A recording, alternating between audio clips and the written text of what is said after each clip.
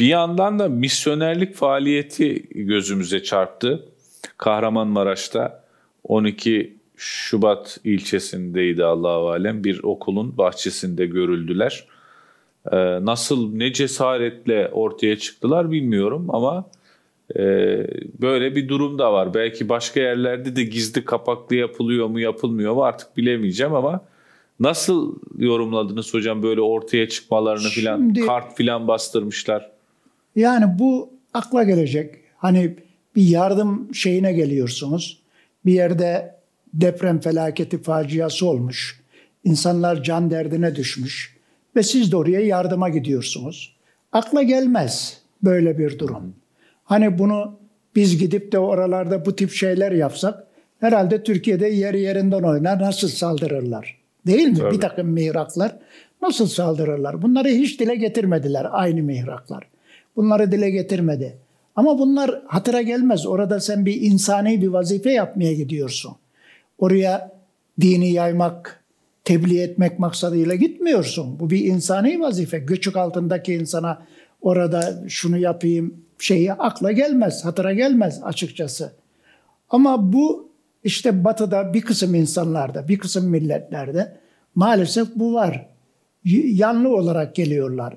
Yani mesela İsrail, Almanya, ABD yani bazı ülkeler maalesef böyle bilhassa Alman misyonerler çok çalışıyor.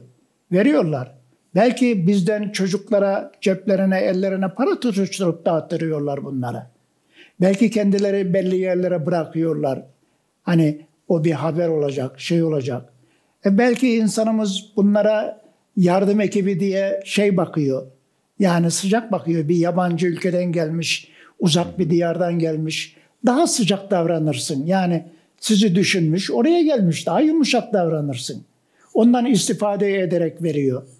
E, böyle bir şeye girişiyorlar. Ama bunları mutlaka yabancı şeyleri, bizim ülkemiz için söylüyorum bilhassa, istihbaratın çok iyi takip etmesi lazım.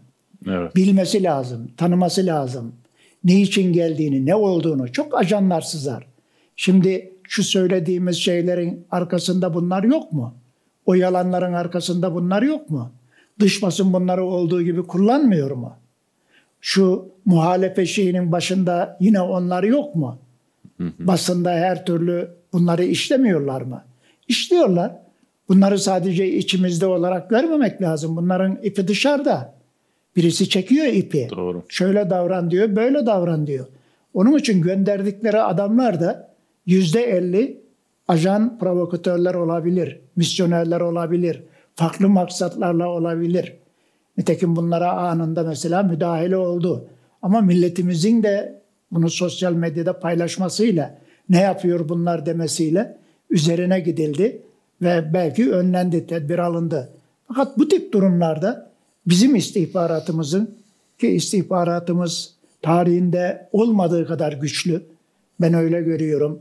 Aktif, ro- rol oynuyor, alıyor, takip ediyor. Dolayısıyla bunlara karşı çok uyanık davranması lazım. iyi bilmesi lazım.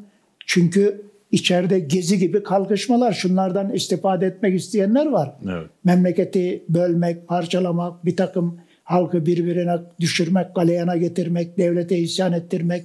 E bu varsa bunun dışında da bu yabancı mihraklar rol oynuyorsa üç kat, beş kat uyanık olması lazım istihbaratımızın. Halkımızın da dikkatli olması Tabii. lazım. Bu oyunlara asla düşmemesi lazım. Yani ama e, onu gördük elhamdülillah. Yani hep böyle devletin açıklamalarını e, dikkate alıp ona göre hareket eden böyle yani kahiri ekseriyetle böyle hareket edildi. Evet. O güzeldi hakikaten Çok güzel. yani. E, hala da öyle devam ediyor. Evet. E, inşallah böyle de devam edeceğini biliyoruz zaten. Milletimize güveniyoruz. Milletimizi tanıyoruz en azından öyle Evet. söyleyelim. Yoksa bu millete hakikaten e, bozguncu çok uğramış da e, kendileri bozulup gitmişlerdir yani. Aynen.